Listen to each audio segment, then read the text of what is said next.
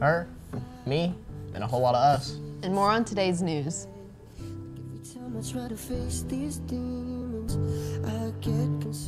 Please stand.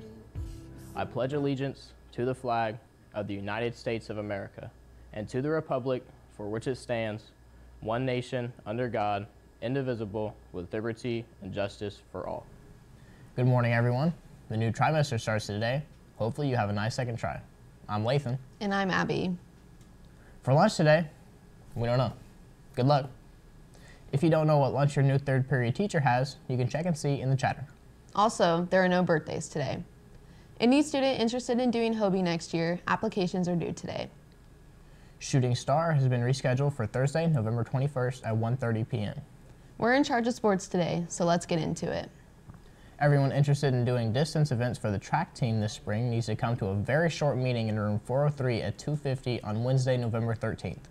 Winter sport athletes need to still attend the meeting. You will not miss your practice. The boys basketball program is having tryouts today and tomorrow after school from 3.05 to 5.15.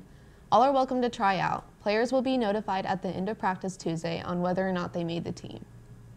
Saturday night, the girls JV and varsity lost to Fountain Central. Varsity lost 47 to 40. Sydney Caesar had 13 points to lead the Dogs. JV played really well after a slow start and almost came away with the win at the end of the game, losing 21 to 20.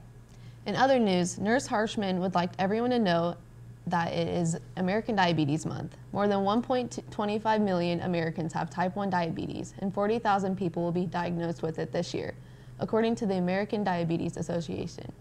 If you feel like you might be at risk, check the link in the chatter to take the free test. At the end of October, FHS mailed over 100 letters for active duty military personnel to receive over the upcoming holidays.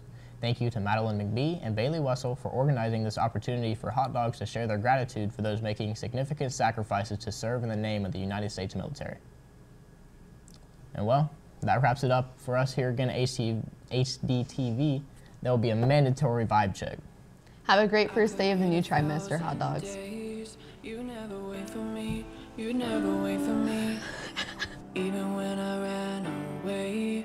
You're all that I could see, you're all that I could see when I could hardly walk on my own. I had to lift myself out of the trench.